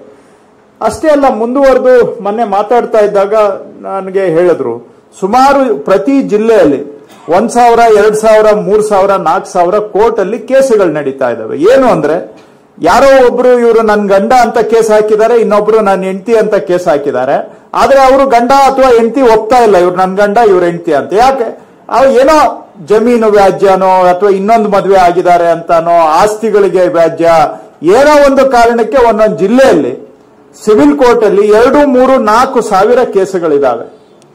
ಯಾಕೆ ಸಿವಿಲ್ ಕೋರ್ಟ್ ಅಲ್ಲಿ ಇದಾವೆ ಅಂದ್ರೆ ಅವ್ರು ಮದುವೆ ಆಗಿದ್ದಕ್ಕೆ ಏನೂ ದಾಖಲೆ ಇಲ್ಲ. ಸೊ ದಾಖಲೆ ಇಲ್ಲದೆ ಇರೋದ್ರಿಂದ ಇವತ್ತು ಅವ್ರ ಮದುವೆ ಆಗಿದ್ರಾ ಇಲ್ವಾ ಅಂತ ಇತ್ಯರ್ಥ ಆಗ್ಬೇಕಂದ್ರೆ ನ್ಯಾಯಾಲಯದ ಮೆಟ್ಲು ಏರ್ಬೇಕು. ನ್ಯಾಯಾಲಯದ ಮೆಟ್ಲಿನಲ್ಲಿ ಎಷ್ಟು ದಿನ ಆಗುತ್ತೆ, ಎಷ್ಟು ವರ್ಷ ಆಗುತ್ತೆ ಗೊತ್ತಿಲ್ಲ. ಅಲ್ಲಿ ಕೊನೆಗೆ ಯಾರು ಲಾಯರ್ ಸ್ಟ್ರಾಂಗ್ ಇದ್ರೆ ಅವ್ರ ಪರ ಹೋಗ್ಬಿಡುತ್ತೆ ಕೇಸು. ಅವರು ಯಾರೋ ಒಬ್ಬ ಮದುವೆ ಆಗಿದ್ದ ಒಂದ್ ಹೆಂಗ್ಸಿಗೆ. ಇವತ್ತು ಹೋಗ್ಬಿಟ್ಟು ಆ ಹೆಂಗ್ಸ್ನ ಬಿಟ್ಬಿಟ್ಟು ಇನ್ನೊಬ್ಬರನ್ನ ಮದುವೆ ಆಗಿದ್ದಾರೆ. ಆ ಹೆಂಗ್ಸು ಜೀವನಾಧಾರಕ್ಕೆ ಕೇಳಿ ಅರ್ಜಿ ಕೊಟ್ಟಾಗ ಈತ ಹೇಳ್ತಾನೆ, ಈತನ, ಈಕೆನ ನಾನು ಮದುವೆನೇ ಆಗಿಲ್ಲ ಅಂತೇಳಿ ಅಂತ. ಈಗ ಆಕೆ ಮದುವೆ ಆಗಿದ್ದ ಅಂತ ಪ್ರೂವ್ ಮಾಡಬೇಕು ಅಂದ್ರೆ ಕೋರ್ಟ್ಗೆ ಹೋಗ್ಬೇಕು. ಕೋರ್ಟಲ್ಲಿ ಹೋಗಿ ಆಯಮ್ಮ ಎಲ್ಲಿಂದ ಲಾಯರ್ಗೆ ದುಡ್ಡು ಕೊಟ್ಟು ಇಡೋದು? ಜೀವನಾಂಶಕ್ಕೆ ಕಷ್ಟ ಇರೋವಾಗ ಆಯಮ್ಮ ಲಾಯರ್ನ ಎಲ್ಲಿ ಇರ್ತಾರೆ ಈತ ಸ್ವಲ್ಪ ಅನುಕೂಲವಾಗಿದ್ದಾನೆ, ಒಳ್ಳೆ ಲಾಯರ್ ಇಡ್ತಾನೆ. ಒಳ್ಳೆ ಲಾಯರ್ ಬಂದು ಆರ್ಗ್ಯೂ ಮಾಡ್ತಾರೆ, ಮದುವೆನೇ ಆಗಿಲ್ಲ ಅಂತೇಳಿ. ಅದ್ರ ಎದುರುಗಡೆ ಆ ಮಹಿಳೆ ನಾವು ಎಲ್ಲ ಮಹಿಳೆಯರು ಸಮಾನ ಅಂತೇಳಿನೂ ಈ ತರ ಅಸಮಾನತೆ ಆದಾಗ ಮಹಿಳೆ ಅಬಲೇನೂ ಆಗ್ಬಿಡ್ತಾಳೆ. ಸೊ ಆ ರೀತಿ ಅನ್ಯಾಯ ಆಗ್ತಾ ಇದೆ ಇವತ್ತು. ಇಂಥ ವ್ಯಾಜ್ಯಗಳು ಕೋರ್ಟ್ನಲ್ಲಿ ಸುಮಾರು ನಡೀತಾ ಇದಾವೆ. ಅವ್ರಿಗೆ ಮಕ್ಕಳಾಗಿರ್ತಾರೆ ಒಂದು ಮದುವೆಯಲ್ಲಿ. ಆ ಮಕ್ಕಳು ಕೂಡ ಇವಾಗ ತಂದೆ ಯಾರು, ತಾಯಿ ಯಾರು ಅನ್ನೋ ಪ್ರಶ್ನೆ ಅವ್ರ ಮನಸ್ಸಿನಲ್ಲೂ ಬರುತ್ತೆ. ಇದರಿಂದ ನಾನಾ ರೀತಿ ಗಂಡಂದಿರಿಗೂ ಆಗ್ಬೋದು ಹೆಂಡತಿಯರಿಗೂ ಆಗ್ಬೋದು. ಇಬ್ಬರಿಗೂ ಕೂಡ ಅವರ ಮದುವೆ ನೋಂದಣಿ ಆಗದೇ ಇರುವುದರಿಂದ ಜನ ನಾನಾ ತೊಂದರೆಗಳನ್ನ ಅನುಭವಿಸ್ತಾ ಇದ್ದಾರೆ. ಅದಕ್ಕೆ ಒಂದು ಬಹಳ ದೊಡ್ಡ ಪರಿಹಾರ ಅಂತ ಹೇಳಿದ್ರೆ ಕಡ್ಡಾಯವಾಗಿ ಅವರ ಮದುವೆಯನ್ನ ನೋಂದಣಿ ಮಾಡ್ತಕ್ಕಂಥದ್ದು. ಈಗ ಜನ ಯಾಕೆ ನೋಂದಣಿ ಮಾಡ್ತಾ ಇಲ್ಲ ಅಂತ ಹೇಳಿದ್ರೆ ಅವರು ಬರಬೇಕು ಸಬ್ ರಿಜಿಸ್ಟ್ರಾರ್ ಆಫೀಸಿಗೆ, ಇಲ್ಲಿ ಬಂದು ನೋಂದಣಿ ಮಾಡಬೇಕು, ಅದಕ್ಕೆ ಸಮಯ ಆಗತ್ತೆ, ಈಗ ಒಂದು ಆನ್ಲೈನ್ ಅಲ್ಲಿ ನಾವು ನೋಂದಣಿ ಮಾಡಿದ್ವಿ, ಅವರು ನವೆಂಬರ್ ತಿಂಗಳಲ್ಲಿ ಮದುವೆ ಆಗಿದ್ದಾರೆ, ಇಲ್ಲಿವರೆಗೂ ಅವರಿಗೆ ಪುರ್ಸತ್ ಆಗಿಲ್ಲ, ನಮ್ಮ ಸಬ್ ರಿಜಿಸ್ಟ್ರಾರ್ ಆಫೀಸ್ಗೆ ಬಂದು ನೋಂದಣಿ ಮಾಡ್ಕೊಳ್ಳಿಕ್ಕೆ. ಇವೆಲ್ಲದಕ್ಕೂ ಸಹ ಸರಳೀಕರಣ ಮಾಡಬೇಕು. ಅಂತ ಹೇಳಿ ನಾವು ಕಳೆದ ಒಂದು ಎರಡು ಮೂರು ತಿಂಗಳಿಂದ ಚರ್ಚೆ ಮಾಡಿ, ಇವತ್ತು ಇ ಗವರ್ನೆನ್ಸ್ ಇಲಾಖೆಯವರ ಸಹಕಾರದಿಂದ ಅದಕ್ಕೆ ನಮ್ಮ ಕಾವೇರಿ ತರನೇ ಒಂದು ಸರಳವಾಗಿ ತಂತ್ರಾಂಶವನ್ನ ಮಾಡಿ, ಅವರು ಮನೆಯಿಂದಾನೇ ನಮಗೆ ರಿಜಿಸ್ಟ್ರೇಷನ್ ಸರ್ಟಿಫಿಕೇಟ್ಗೆ ಅಪ್ಲೈ ಮಾಡಬಹುದು. ಆನ್ಲೈನ್ ಅಲ್ಲೇ ಅಪ್ಲೈ ಮಾಡಬಹುದು. ಆನ್ಲೈನ್ ಅಲ್ಲಿ ಅವರು ಕೊಟ್ಟಂತ ಡಾಕ್ಯುಮೆಂಟೇಶನ್ ಡಾಕ್ಯುಮೆಂಟೇಶನ್ ಏನ್ ಬಹಳ ಇಲ್ಲ. ಮದುವೆದು ಇನ್ವಿಟೇಷನ್ ಕಾರ್ಡು ಮದುವೆ ಆಗಿರುವಂತಹದ್ದು ಫೋಟೋ ಮತ್ತೆ ಒಂದು ವಿಡಿಯೋ ಅನ್ಸುತ್ತೆ. ಬೇರೆ ಇನ್ನೇನ್ ಬೇಕು? ಅಷ್ಟು. ಅಷ್ಟನ್ನ ಕೊಟ್ರೆ ಆನ್ಲೈನ್ ಅಲ್ಲೇ ವೆರಿಫೈ ಮಾಡಿಬಿಟ್ಟು ಅಪ್ರೂವ್ ಮಾಡಿದ್ರೆ ಅವ್ರಿಗೆ ಈ ರೀತಿಯಾದಂತ ಸರ್ಟಿಫಿಕೇಟ್ ನಾವು ಅವ್ರಿಗೆ ಆನ್ಲೈನ್ ಅಲ್ಲೇ ಕಳಿಸ್ಕೊಟ್ಬಿಡ್ತೇವೆ. ಅವರೇ ಪ್ರಿಂಟ್ ಔಟ್ ತಗೋಬಹುದು ಸೊ ಯಾರು ಕೂಡ ನಮ್ಮ ಕಚೇರಿಗೆ ಅನಾಗತ್ಯವಾಗಿ, ಅನಾವಶ್ಯಕವಾಗಿ ನಮ್ಮ ಕಚೇರಿಗೆ ಬರೋದು ಬೇಕಾಗಿಲ್ಲ. ಏನಾಗುತ್ತೆ? ನಮ್ಮ ಕಚೇರಿಗೂ ಕೂಡ ಜನ ಜಾಸ್ತಿ ಬಂದಷ್ಟು ಇಲ್ಲಿ ಜಾಗ ಇಷ್ಟೇ ಇರ್ತದೆ. ಇಲ್ಲಿ ಬಂದಾಗ ಏನಾಗುತ್ತೆ? ಜನ ಜಂಗುಳಿ ಆಗುತ್ತೆ. ಜನ ದೂರ ಹೇಳ್ತಾರೆ, ನಿಮ್ ಕಚೇರಿಗೆ ಹೋದ್ರೆ ಕೂತ್ಕೊಳ್ಳಕ್ಕೂ ಜಾಗ ಇಲ್ಲ, ಸೌಲಭ್ಯ ಇಲ್ಲ, ನಮ್ಗೆ ಕುಡಿಯೋ ನೀರಿಲ್ಲ, ಶೌಚಾಲಯ ವ್ಯವಸ್ಥೆ ಸರಿ ಇಲ್ಲ, ಮಹಿಳೆಯರಿಗೆ ಸರಿಯಾಗಿ ನೀವು ಅಲ್ಲಿ ಬೇಕಾದಂತ ಅಗತ್ಯ ಸೌಲಭ್ಯಗಳನ್ನ ಕೊಡ್ತಾ ಇಲ್ಲ. ಈ ರೀತಿ ಎಲ್ಲ ದೂರ ಬರ್ತದೆ. ಈಗ ಯಾವುದು ತೀರಾ ಅಗತ್ಯ ಇದೆ, ಅಂತವರು ಕಚೇರಿಗೆ ಬರಬೇಕು. ಇಂಥದಕ್ಕೆಲ್ಲ ಅವರು ಕಚೇರಿಗೆ ಬರೋ ಅವಶ್ಯಕತೆನೇ ಇಲ್ಲ. ಇದು ಮನೆ ಬಾಗಿಲಿಗೆ ಅವ್ರ ಮನೆ ಬಾಗಿಲಲ್ಲ, ಮನೆ ಒಳಗಡೆ ಅವ್ರ ರೂಮ್ಗೆ ನಾವು ಇದನ್ನ ಸರ್ವಿಸ್ ಅನ್ನ ಕೊಡೋದ್ರಿಂದ ಅವರಿಗೂ ಬಹಳ ಅನುಕೂಲ ಆಯ್ತು. ನಮ್ಮ ಕಚೇರಿವರೆಗೂ ಕೆಲಸ ಕರ್ಕೊಂಡು ಬರೋದು ತಪ್ಪಿತು ಅವ್ರಿಗೆ ಸಮಯ ಉಳಿತಾಯ ಆಯ್ತು. ಅಥವಾ ಓದ್ವಿ ಅಲ್ಲಿ ನಿಮ್ ಕಚೇರಿಯಲ್ಲಿ ನಿಮ್ಮ ಹತ್ರ ದುಡ್ಡು ಕೇಳಿದ್ರು ಅದು ಇದು ಅಂತ ಹೇಳೋದು ತಪ್ಪಿತು ಈಗ ಆನ್ಲೈನ್ ಅಲ್ಲಿ ನಾವು ಮಾಡ್ತಾ ಇರೋದ್ರಿಂದ ಇಲ್ಲಿ ದುಡ್ಡು ಕೇಳೋದಕ್ಕೂ ಅವಕಾಶ ಇಲ್ಲ, ತಗೊಳಕ್ಕೂ ಕೊಡಕ್ಕೂ ಅವಕಾಶ ಇಲ್ಲ, ನೀವು ದೂರ ಹೇಳಕ್ಕೂ ಅವಕಾಶ ಇಲ್ಲ. ಯಾಕಂದ್ರೆ ಒಂದೊಂದ್ ಬಾರಿ ನಮ್ಗೆ ಯಾವ್ದು ಸತ್ಯ, ಯಾವ್ದು ಮಿಥ್ಯ ಅಂತಾನು ಗೊತ್ತಾಗಲ್ಲ. ದೂರನ್ನ ನಂಬೇಕಾ, ಇಲ್ವಾ ಅಂತಾನು ಗೊತ್ತಾಗಲ್ಲ. ಈಗ ನಾವು ನಿಮ್ ಮನೆಗೆ ಸರ್ವಿಸ್ ಕೊಡೋದ್ರಿಂದ ಇಂಥ ಎಲ್ಲ ದೂರುಗಳಿಗೂ ಕೂಡ ವಿರಾಮ ಆಗುತ್ತೆ. ಜನರ ಮನೆ ಒಳಗಡೆ, ಮನೆ ಬಾಗಿಲಿಗೆ ಅಲ್ಲ, ಮನೆ ಒಳಗಡೆ ನಾವು ಸರ್ವಿಸ್ ಕೊಟ್ಟಂಗಾಗುತ್ತೆ ಸಬ್ ರಿಜಿಸ್ಟ್ರಾರ್ ಆಫೀಸ್ ಒಳಗಡೆ ಆಗ್ತಾ ಇದ್ದಿದ್ದ ಕೆಲಸ ಇವತ್ತು ನಿಮ್ಮನೆ ಒಳಗಡೆ ಮಾಡುವಂತ ಬದಲಾವಣೆಯನ್ನ ನಾವು ತಗೊಂಡು ಬಂದಿದ್ದೇವೆ. ಮತ್ತು ಇದರ ಮುಖಾಂತರ ನಮ್ಮ ಆಸೆ ಏನು ಅಂದ್ರೆ, ಜನ ನೋಂದಣಿಯನ್ನ ಮಾಡಿಸ್ಬೇಕು ಅವರ ಮದುವೆಗಳನ್ನ ಅನ್ನೋದು ಮೂಲ ಆಶಯ. ಇಷ್ಟು ಸರಳೀಕರಣ ಮಾಡಲಿಕ್ಕೆ ನೋಂದಣಿಯನ್ನ ಮಾಡಬೇಕು. ಯಾಕೆ ಅಂದ್ರೆ, ಯಾರು ಯಾರು ಮದುವೆ ಆಗಿದ್ದಾರೆ, ಆಗಿಲ್ಲ ಅನ್ನೋದು ಒಂದು ದಾಖಲೆ ಆದ್ರೂ ಇರಬೇಕು. ನಾಳೆ ವಿಶೇಷವಾಗಿ ಇದರಿಂದ ಮಹಿಳೆಯರಿಗೆ ಒಂದು ರಕ್ಷಣೆ ಸಿಗುತ್ತೆ ಅನ್ನೋದು ನನ್ನ ಭಾವನೆ. ಹಾಗಾಗಿ ನಾನು ಈ ಸರಳೀಕರಣ ಮಾಡಿರುವುದರಿಂದ ನಾನು ಎಲ್ಲರಲ್ಲೂ ಮನವಿ ಮಾಡ್ತೇನೆ, ದಯವಿಟ್ಟು ತಪ್ಪದೆ ತಮ್ಮ ಮದುವೆಯನ್ನ ನೋಂದಾಯಿಸಿ. ನೋಂದಾಯಿಸುವುದರ ಜೊತೆಗೆ ಒಂದು ಪ್ರಮಾಣ ಪತ್ರವನ್ನು ಕೂಡ, ಮದುವೆಯ ಪ್ರಮಾಣ ಪತ್ರವನ್ನ ತೆಗೆದು ಇಟ್ಕೊಳ್ಳಿ. ಇದು ಡಿಜಿಟಲ್ ಡಾಕ್ಯುಮೆಂಟ್ ಆಗಿದೆ. ನೀವು ಪ್ರಿಂಟ್ ಔಟ್ ತೆಗೆದು ಇಟ್ಕೋಬೇಕಾಗಿಲ್ಲ. ನಿಮ್ಮ ಮೊಬೈಲ್ ಅಲ್ಲೇ ಕ್ಯಾರಿ ಮಾಡಬಹುದು ಈ ಸರ್ಟಿಫಿಕೇಟ್ ಅನ್ನ ಡಿಜಿಟಲ್ ವಾಲೆಟ್ಗೂ ಹಾಕಿ ಇಟ್ಕೋಬಹುದು ಯಾರು ಕೇಳಿದಾಗ ಬೇಕಾದ್ರೆ ಸುಮ್ಮನೆ ಮೊಬೈಲ್ ಅಲ್ಲೇ ನಿಮ್ದು ತೆಗೆದು ತೋರಿಸಬಹುದು ನೋಡ್ರಿ ನನ್ನ ಮ್ಯಾರೇಜ್ ಸರ್ಟಿಫಿಕೇಟ್. ಅದನ್ನ ವಾಟ್ಸ್ಆಪ್ ಅಲ್ಲೇ ನೀವು ಯಾರಿಗೆ ಬೇಕಾದ್ರೂ ಸಬ್ಮಿಟ್ ಮಾಡಬಹುದು ಪಾಸ್ಪೋರ್ಟ್ ಆಫೀಸ್ಗೂ ಸಬ್ಮಿಟ್ ಮಾಡಬಹುದು ಇಲ್ಲ ಯಾವುದೋ ಡ್ರೈವರ್ಸ್ ಲೈಸೆನ್ಸ್ಗೂ ಸಬ್ಮಿಟ್ ಮಾಡಬಹುದು ರೇಷನ್ ಕಾರ್ಡ್ಗೂ ಸಬ್ಮಿಟ್ ಮಾಡಬಹುದು ಸೊ ಯಾರಿಗ್ ಬೇಕಾದ್ರೂ ನೀವು ಆನ್ಲೈನ್ ಅಲ್ಲೇ ಸಬ್ಮಿಟ್ ಮಾಡಬಹುದು ಇದನ್ನ ಪ್ರಿಂಟ್ ಔಟ್ ತಗೊಳ್ಳೋದು ಅವಶ್ಯಕತೆನೇ ಇಲ್ಲ. ಇದು ಡಿಜಿಟಲಿ ಸೈನ್ಡ್ ಇದೆ. ಸೊ ಆ ರೀತಿಯಾಗಿ ಹೊಸ ತಂತ್ರಜ್ಞಾನವನ್ನ ಅಳಿಸ್ಕೊ, ಅಳವಡಿಸಿಕೊಂಡು ಜನಪರ ಸುಧಾರಣೆಯನ್ನ ನಾವು ತರ್ತಾ ಇದ್ದೇವೆ.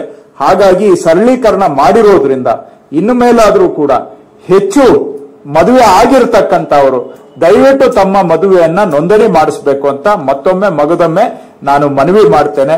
ಇದರಿಂದ ವಿಶೇಷವಾಗಿ ಮಹಿಳೆಯರಿಗೆ ಒಂದು ರಕ್ಷಣೆ ಸಿಗುತ್ತೆ.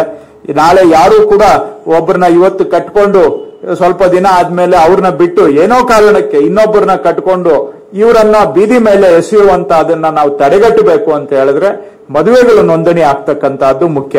ನಾಳೆ ಆಸ್ತಿಯಲ್ಲಿ ವ್ಯಾಜ್ಯಗಳು ಬರಬಾರದು ಅನ್ನೋ ಆಗಿದ್ರೆ ಅದಕ್ಕೆ ಸ್ಪಷ್ಟತೆ ಇರಬೇಕು ಅನ್ನೋ ಆಗಿದ್ರೆ ದಯವಿಟ್ಟು ಏನಾದರೂ ತೊಂದರೆ ಬರೋದಕ್ಕೆ ಮೊದಲು ಮನಸ್ತಾಪ ಬರೋದಕ್ಕೆ ಮೊದಲೇ ನೀವು ಮದುವೆಯನ್ನ ನೋಂದಣಿ ಮಾಡಿಸ್ಬಿಟ್ರೆ ನಾಳೆ ಮನಸ್ತಾಪ ಬಂದರೂ ಕೂಡ ನಿಮ್ಮ ಹಕ್ಕನ್ನ ಯಾರು ಕಸ್ಕೊಳ್ಲಿಕ್ಕೆ ಸಾಧ್ಯ ಇಲ್ಲ. ಮನಸ್ತಾಪ ಬರಬೇಕು ಅನ್ನೋದು ನಮ್ಮ ಇಚ್ಛೆ ಅಲ್ಲ. ಆದ್ರೆ ಅದು ಬಂದಂತ ಸಂದರ್ಭದಲ್ಲಿ ಯಾರಿಗೆ ಆಗ್ಲಿ, ಅದು ಗಂಡಸಿರ್ಬೋದು, ಹೆಂಗ್ಸಿರ್ಬೋದು, ಅವ್ರಿಗೆ ಕಾನೂನಿನ ರಕ್ಷಣೆ ಸಿಗಬೇಕು. ಸಿಗಬೇಕಾದ್ರೆ ದಯವಿಟ್ಟು ನೋಂದಣಿಯನ್ನ ಮಾಡಿಸುವಂತಹದ್ದು, ಮಾಡಿ ಅಂತ ನಾನು ಮನವಿ ಮಾಡ್ತೇನೆ. ಅದರ ಜೊತೆಗೆ ಇದು ಹಿಂದೂ ಮ್ಯಾರೇಜ್ ಆಕ್ಟ್ ಅಲ್ಲಿ ನಾವು ಸರಳೀಕರಣ ಮಾಡಿರ್ತಕ್ಕಂಥದ್ದು. ಇನ್ನ ಸ್ಪೆಷಲ್ ಮ್ಯಾರೇಜಸ್ ಆಕ್ಟ್ ಇದೆ. ಅಂದ್ರೆ ನಾವು ಏನು ರಿಜಿಸ್ಟರ್ಡ್ ಮ್ಯಾರೇಜ್ ಅಂತ ಕರಿತೇವೆ. ಅದಕ್ಕೆ ಸ್ಪೆಷಲ್ ಮ್ಯಾರೇಜ್ ಆಕ್ಟ್ ಅಲ್ಲಿ ಬರ್ತದೆ ಅದು. ಅಂದ್ರೆ ಸಬ್ ರಿಜಿಸ್ಟ್ರಾರ್ ಮುಂದೆ ಬಂದು ಇಲ್ಲೇ ಮದುವೆ ಆಗ್ತಕ್ಕಂಥದ್ದು. ಇಷ್ಟೊತ್ತು ಇದಕ್ಕೆ ಮೊದಲು ಹೇಳಿದ್ದು ನಿಂಪಾಡಿಗೆ ನೀವು ಮದುವೆ ಆಗಿರ್ತೀರಿ, ನಾ ಹಿಂದೂ ರೀತಿ ರಿವಾಜಿನ ಪ್ರಕಾರ. ಅದನ್ನ ನೋಂದಣಿ ಮಾಡಿಸೋದು ಅಷ್ಟೇ. ಈಗ ನಾವು ಬಂದು ಸಬ್ ರಿಜಿಸ್ಟ್ರಾರ್ ಮುಂದೆನೆ ಮದುವೆ ಆಗ್ತೀವಿ ಅನ್ನೋ ಆಗಿದ್ರೆ ಅದಕ್ಕೆ ಮೂವತ್ತು ದಿನ ನೋಟಿಸ್ ಪೀರಿಯಡ್ ಇದೆ, ಕಾನೂನಲ್ಲಿ ಕಡ್ಡಾಯ ಇದೆ. ಮೊದಲೇ ಅಪಾಯಿಂಟ್ಮೆಂಟ್ ತಗೋಬೇಕು ಸಬ್ ರಿಜಿಸ್ಟ್ರಾರ್ ಹತ್ರ ಇಂಥ ತಾರೀಕಿಗೆ ಬಂದು ನಾವು ಮದುವೆ ಆಗ್ತೇವೆ ಅಂತ. ನೀವು ಸಬ್ ರಿಜಿಸ್ಟ್ರಾರ್ಗೆ ನೋಟಿಸ್ ಕೊಟ್ಟ ಮೇಲೆ ಸಬ್ ರಿಜಿಸ್ಟ್ರಾರ್ ಅದನ್ನ ನೋಟಿಸ್ ಬೋರ್ಡ್ಗೆ ಹಾಕ್ತಾರೆ. ಯಾರ್ದಾದ್ರೂ ಇದಕ್ಕೆ ತಕರಾರು ಇದ್ರೆ ತಕರಾರು ಸಲ್ಲಿಸಬಹುದು ಅಂತ ಮೂವತ್ತು ದಿನ ನೋಟಿಸ್ ಬೋರ್ಡ್ಗೆ ಹಾಕ್ಬೇಕು. ಆ ನೋಟಿಸ್ ಬೋರ್ಡ್ ಪೀರಿಯಡ್ ಆದ್ಮೇಲೆ ಸಬ್ ರಿಜಿಸ್ಟ್ರಾರ್ ಮುಂದೆ ನಿಮ್ಮ ಮದುವೆ ಆಗುತ್ತೆ. ಈಗ ಇಷ್ಟು ದಿನ ಕಾ- ಇದು ಸುಮಾರು ಜನ ಹೊರದೇಶದಿಂದ ಬರ್ತಾರೆ. ಇಲ್ಲಿ ಬಂದು ರಿಜಿಸ್ಟರ್ಡ್ ಮದುವೆ ಆಗಿ ಹೋಗ್ತಾರೆ. ಅಥವಾ ಇಲ್ಲೇ ಇರೋರು ರಿಜಿಸ್ಟರ್ಡ್ ಮದುವೆ ಆಗ್ತಾರೆ. ಈಗ ಅವರು ಮದುವೆ ಆಗ್ಬೇಕು ಅಂತ ಅರ್ಜಿ ಕೊಡೋದಕ್ಕೇನೆ ಇಲ್ಲ, ಇದ್ರ ಮುಖಾಂತರ ಯಾವುದು ರಿಜಿಸ್ಟರ್ಡ್ ಪೋಸ್ಟ್ ಮುಖಾಂತರ ಕೊಡಬೇಕಾಗಿತ್ತು ಅಥವಾ ಅವ್ರು ಖುದ್ದಾಗಿ ಬಂದು ಕೊಡಬೇಕಾಗಿತ್ತು ನಮ್ಮ ಸಬ್ ರಿಜಿಸ್ಟ್ರಾರ್ಗೆ ಈಗ ಅದನ್ನ ಆನ್ಲೈನ್ ಅಲ್ಲಿ ಅಪ್ಲೈ ಮಾಡುವಂತಹದ್ದು ಕಾನೂನಿನಲ್ಲಿ ತಿದ್ದುಪಡಿ ಮಾಡಿದ್ದೇವೆ ನಾವು. ಸೊ ಬರೀ ರಿಜಿಸ್ಟರ್ಡ್ ಪೋಸ್ಟ್ ಅಲ್ಲ ಎಲೆಕ್ಟ್ರಾನಿಕ್ ನೋಟಿಫಿಕೇಶನ್ ಅಂದ್ರೆ ನೀವೊಂದು ಇಮೇಲ್ ಮುಖಾಂತರನೋ ಅಥವಾ ಆನ್ಲೈನ್ ಅಲ್ಲಿ ಬೇಕಾದ್ರೂ ಕೂಡ ರಿಜಿಸ್ಟರ್ಡ್ ಮ್ಯಾರೇಜ್ಗೆ ಅಪ್ಲಿಕೇಶನ್ ಅನ್ನ ಕೊಡಬಹುದು. ಅದನ್ನು ಕೂಡ ನಮ್ಮ ಅಧಿಕಾರಿಗಳು ಸ್ವೀಕರಿಸಬೇಕು ಅಂತೇಳಿ ಕಾನೂನು ತಿದ್ದುಪಡಿನೂ ಮಾಡಿದ್ದೇವೆ. ಅದಕ್ಕೆ ಆನ್ಲೈನ್ ಅಲ್ಲಿ ಇವತ್ತಿಂದ ಸೌಲಭ್ಯವನ್ನು ಕೊಟ್ಟಿದ್ದೇವೆ. ಸೊ ರಿಜಿಸ್ಟರ್ ಮ್ಯಾರೇಜ್ಗೆ ಅಪ್ಲಿಕೇಶನ್ ಆನ್ಲೈನ್ ಅಲ್ಲಿ ಓಪನ್ ಮಾಡಿದ್ದೇವೆ. ಆದ್ರೆ ಮದುವೆ ಆಗೋದು ಸಬ್ ರಿಜಿಸ್ಟ್ರಾರ್ ಮುಂದೆನೆ ಬಂದು ಮದುವೆ ಆಗಬೇಕಾಗುತ್ತೆ. ಯಾಕಂದರೆ ಅದು ಇಡೀ ದೇಶದ ಕಾನೂನು ಆಗಿರೋದ್ರಿಂದ ಅದರಲ್ಲಿ ಬದಲಾವಣೆ ಮಾಡುವಂಥ ವಿಷಯ ಇವತ್ತು ಇಲ್ಲ. ಇನ್ನು ಭಾಳ ಮುಖ್ಯವಾಗಿ ನಮ್ಮಲ್ಲಿ ಜನ ಭಾಳ ಬರ್ತಕ್ಕಂಥದ್ದು ರಿಜಿಸ್ಟ್ರೇಷನ್ಗಿಂತ ಇಸಿಗೆ ಜಾಸ್ತಿ ನಮ್ಮ ಹತ್ರ ಟ್ರಾನ್ಸಾಕ್ಷನ್ ಆಗುತ್ತೆ. ಒಂದು ವರ್ಷದಲ್ಲಿ ಸುಮಾರು ಎಂಬತ್ತು ತಕ್ಷಣ. ಎಷ್ಟು ಹೇಳಿದ್ದು? ಎಷ್ಟು ಇ ಸಿ ಡ್ರಾ ಆಗ್ತಾ ಇದೆ? ಸುಮಾರು ಒಂದು ಐವತ್ತು ಲಕ್ಷಕ್ಕಿಂತ ಹೆಚ್ಚು ಒಂದು ವರ್ಷದಲ್ಲಿ ಇ ಸಿ ತಗೊಳ್ತಾರೆ ಎನ್ಕಂಬ್ರಸ್ ಸರ್ಟಿಫಿಕೇಟ್. ಈಗ ಕಾವೇರಿ ಟಿ, ಟೂ ಜೊತೆಗೆ ಆಲ್ರೆಡಿ ಆನ್ಲೈನ್ ಅಲ್ಲಿ ಇ ಸಿ ಅನ್ನ ತಗೊಳ್ಳುವಂತ ಸೌಲಭ್ಯ ಮಾಡಿದ್ದೇವೆ. ಆದ್ರೆ ಅಲ್ಲಿ ಜನ ಕೆಲವ್ರು ಏನ್ ಹೇಳಿದ್ರು, ನಾವು ಆ ಕಂದಾಯ ಗ್ರಾಮದ ಹೆಸರನ್ನ ಹಾಕ್ಬೇಕು. ಕೆಲವ್ರಿಗೆ ಪಾಪ ಅಷ್ಟು ತಿಳುವಳಿಕೆ ಇರೋದಿಲ್ಲ. ಆನ್ಲೈನ್ ಅಲ್ಲಿ ನಮ್ ಜಿಲ್ಲೆ ನಮ್ಮ ತಾಲೂಕು, ನಮ್ಮ ಕಂದಾಯ ಗ್ರಾಮದ ಹೆಸರು ಹಾಕಿದ್ರೆ ಅವಾಗ ಅದು ಈಸಿ ಬರ್ತದೆ. ಅದಕ್ಕೆ ಈಗ ಅದರಲ್ಲೂ ನಮ್ಮ ಈ ಗವರ್ನೆನ್ಸ್ ಅವರು ಒಂದು ಸಜೆಷನ್ ಕೊಟ್ಟು ಸಿಂಪಲ್ ಆಗಿ ನೀವು ಕರ್ನಾಟಕ ಮ್ಯಾಪ್ ಅಲ್ಲಿ ಹೋಗ್ಬಿಟ್ಟು ಎಲ್ಲಿ ಬೇಕಾದರೂ ಮ್ಯಾಪ್ ಮೇಲೇನೆ ನಿಮ್ಮ ಜಿಲ್ಲೆಗೆ ಹೋಗಿ ಮ್ಯಾಪ್ ಮೇಲೇನೆ ನಿಮ್ಮ ತಾಲೂಕು ನಿಮ್ಮ ಮ್ಯಾಪ್ ಮೇಲೇನೆ ನಿಮ್ಮ ಹಳ್ಳಿ ಮೇಲೆ, ಹಳ್ಳಿ ಒಳಗಡೆ ನಿಮ್ಮ ಜಮೀನಲ್ಲಿದೆ ಅದ್ರ ಮೇಲೆ ಕ್ಲಿಕ್ ಮಾಡಿದ್ರೆ ಸಾಕು. ಆಟೋಮ್ಯಾಟಿಕ್ ಆಗಿ ಆ ಜಮೀನ್ ಅನ್ನೋದು ಈಸಿ ಲೋಡ್ ಆಗುತ್ತೆ. ಸೊ ಎಂಟ್ರ್ ಮಾಡೋದು ಬೇಕಾಗಿಲ್ಲ. ಜಿಲ್ಲೆ, ತಾಲೂಕು, ಗ್ರಾಮ ಇದು ಯಾವುದು ಎಂಟ್ರ್ ಮಾಡೋದು ಬೇಕಾಗಿಲ್ಲ. ಮ್ಯಾಪ್ ಮೇಲೆ ನೀವು ಕ್ಲಿಕ್ ಮಾಡೋದು ಪಿನ್ ಅನ್ನ ಕ್ಲಿಕ್ ಮಾಡೋದರ ಮುಖಾಂತರ ಆ ಜಮೀನಿನ ಈಸಿಯನ್ನ ಜನರೇಟ್ ಮಾಡೋದು, ಸರಳೀಕರಣ, ಸ್ವಲ್ಪ ಈಸಿಯಾಗಿ ನೀವು ಕಂಡುಕೊಳ್ಳುವಂತಹದ್ದು ಮಾಡಿದ್ದೇವೆ. ಇದು ನಮ್ದು ಎರಡ್ ಸಾವಿರದ ನಾಲ್ಕರಿಂದ ನಂತರ ಜಮೀನಿನ ಎಲ್ಲ ವಹಿವಾಟುಗಳನ್ನ ಡಿಜಿಟಲ್ ಆಗಿ ಈಸಿ ಮಾಡಿದ್ದೇವೆ ಮಾಡಿದ್ದೇವೆ ಇಲಾಖೆಯಲ್ಲಿ.